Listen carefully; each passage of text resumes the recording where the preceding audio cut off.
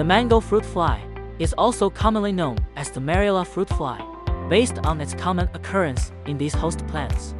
Mango production losses caused by fruit flies are very serious, can reach 80% by the end of the season.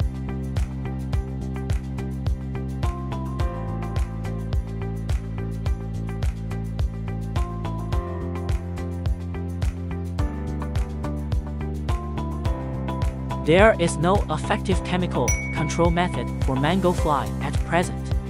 Prevention is crucial. If the fly population becomes too large, there is no control method that will be genuinely effective and profitable. The only effective way for interrupting the fly's development cycle is to implement a combination of control measures.